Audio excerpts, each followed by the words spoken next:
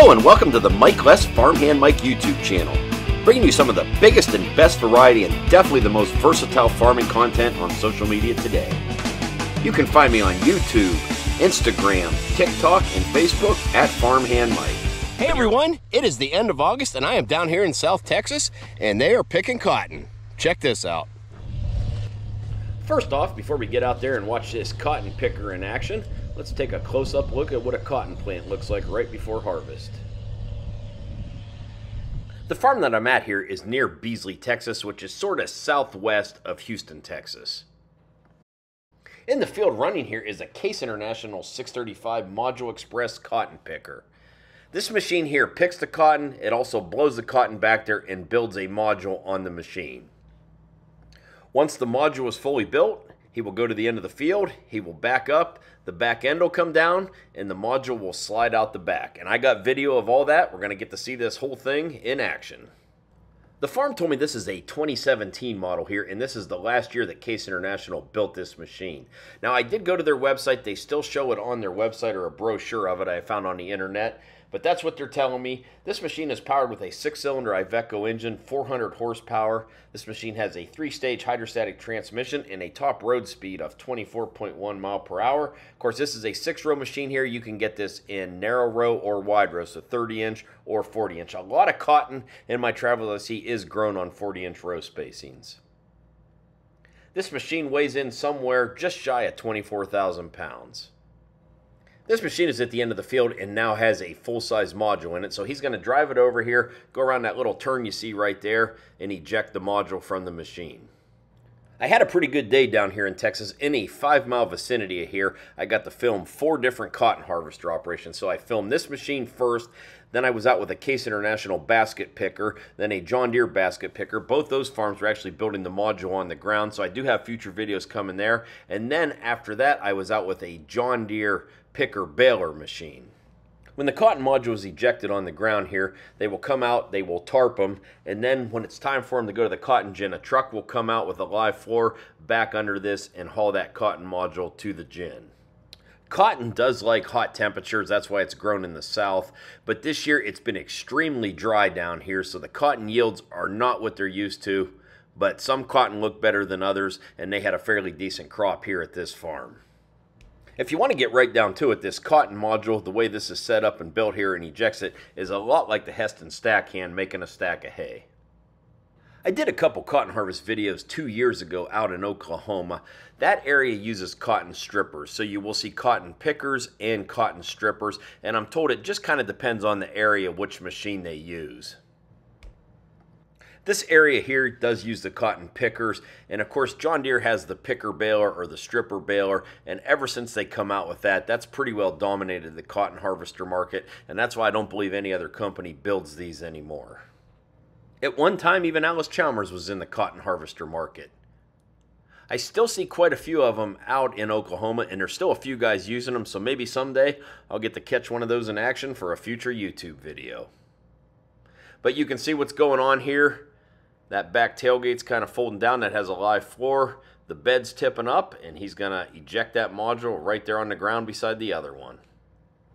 And this was perfect timing on my part. If I would have been an hour later, this guy would have been completely done with his 2023 cotton harvest, and I would have had to wait till next year to catch this machine in action.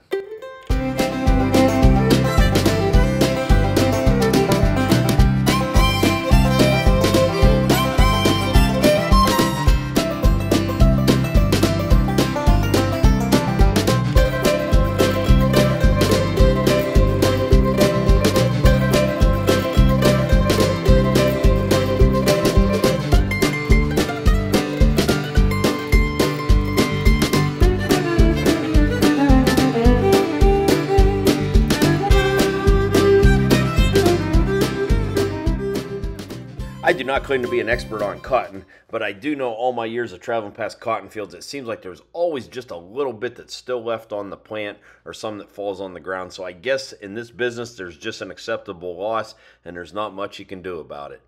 And if you're watching this video and you're in the cotton business and you want to care to add a little more to that, what's an acceptable loss and what's not, please add that in the comment section. I'd sure enjoy learning a little more.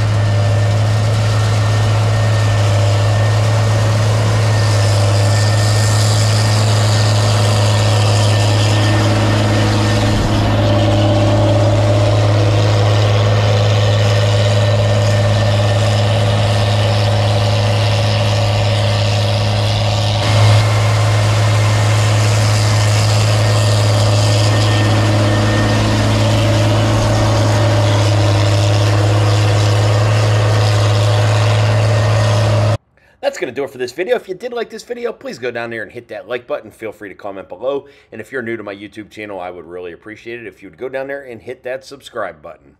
Now, I am going to have a few more cotton harvest videos from this area coming in the near future, but I will mix those in with other stuff as we go forward.